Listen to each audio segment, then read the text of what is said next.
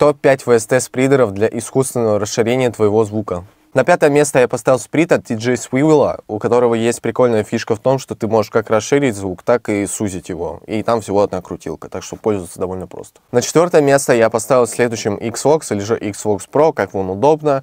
В разделе SFX там есть такой параметр, как Pitch Widener, и он поможет вам ну, достаточно по-своему расширить звук, но звучит реально хорошо. Следующим у нас пойдет на третьем месте Valhalla Uber мод, в котором есть пресеты специально под сприт, и они тоже там разные типы есть, каждому, каждый найдет то, что ему нужно. На втором месте относительно недавно вышедший плагин от FL, это Spreader, тоже классический, но у него есть фишка в том классная, что он оставляет монозвук чистый. Это значит, что у нас не будет никаких искажений, у нас грубо говоря, натуральное расширение. И на первом месте у нас идет Stage One от Lipwing Audio, который тоже оставляет натуральное звучание в середине, то есть если вы включаете моно, то все будет окей.